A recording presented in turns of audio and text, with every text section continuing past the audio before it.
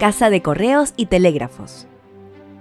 El servicio postal en la República comenzó a tener una vital importancia y a mediados del siglo XIX requirió de un local cercano a la Plaza de Armas y que sea más eficiente en la atención al público. El Estado arrendó los bajos de la llamada Casa de Chacón, donde hoy está este edificio. Posteriormente se decidió comprar el terreno y construir una nueva sede.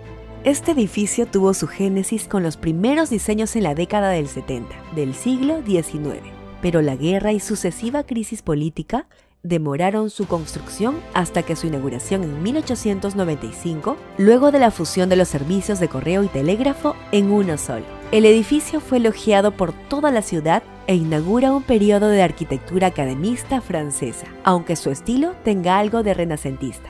Varios constructores fueron los que participaron del diseño, aunque se puede decir que los principales fueron Máximo Doig y Emilio Parza.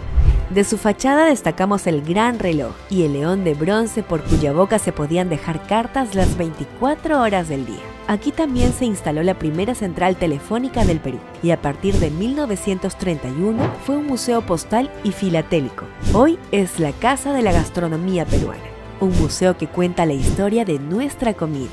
La Casa de Correos y Telégrafos, un patrimonio arquitectónico de finales del siglo XIX y parte de la historia de las comunicaciones. Casa de Correos y Telégrafos. Nuestra Lima del Bicentenario.